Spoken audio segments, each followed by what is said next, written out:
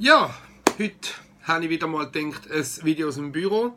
Ähm, es ist so, ich, ich, ich merke relativ schnell, haben die Leute das Gefühl, dass ähm, Internetgeschäft ähm, für meine Branche nicht taugt, weil äh, ich will ja mit den Kunden persönlichen Kontakt haben.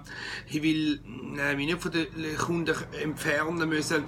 Ähm, was man vielleicht einfach mal muss noch erwähnt haben, ist, ist ganz wichtig.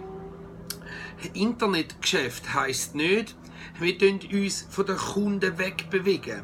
Oder man ist nicht mehr äh, näher an den Kunden. Ganz im Gegenteil. Das Internetgeschäft hilft, näher zu den Kunden zu kommen.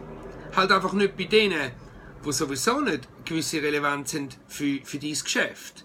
Also das heisst, das Internetbusiness ist eine Brücke um eben noch besser, noch effizienter und kostengünstiger können an die Leute ankommen, die wirklich auch Interesse haben an den Produkten und Dienstleistungen, die du vertreibst oder die du vermarktest. Einfach da mal, um sich da durch den Kopf zu lassen.